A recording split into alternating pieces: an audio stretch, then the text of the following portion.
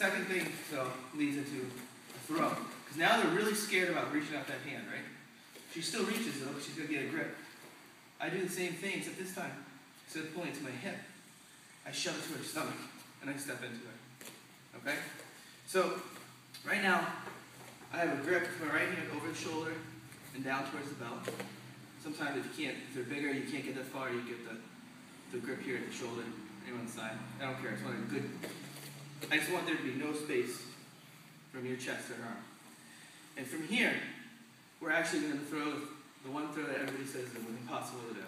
Yoko Wakare, side separation. And it's just like a turnover. You guys have done this turnover before, right? We've done this on our hands and knees. We just, you know, duck through, right? It's not that hard. Same thing with this one. All I have to do is duck through, have a little faith, and swing my left leg through, and she'll go right over. So here.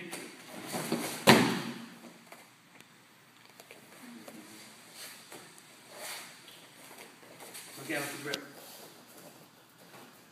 Get it before she gets you.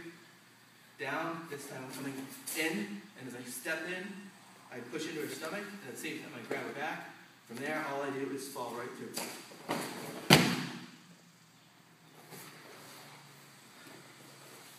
You're sitting there smiling at this one. I can see it. Do you guys think you understand it? Yeah. So the only difference is this. First one, option A, is just messing with their head. Right? Get that arm bar. Push them off the mat.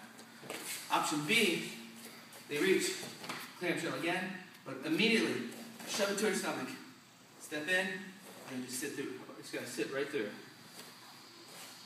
Everybody's done it on the ground a thousand times. Let's try it in the air. Do you do a run with it?